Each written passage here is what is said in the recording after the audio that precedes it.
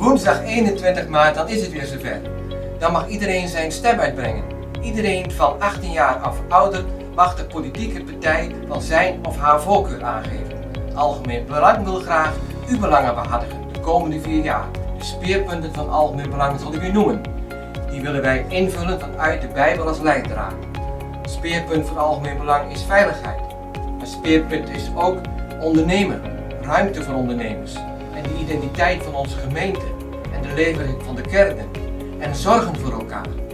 Algemeen Belang kan die speerpunten alleen waarmaken in een gezonde financiële situatie. Kies daarom woensdag 21 maart Algemeen Belang.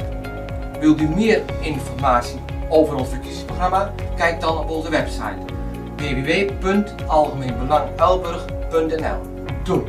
Stem. Stabiel. Principieel en zakelijk. Stem. Algemeen Belang, lijst 2.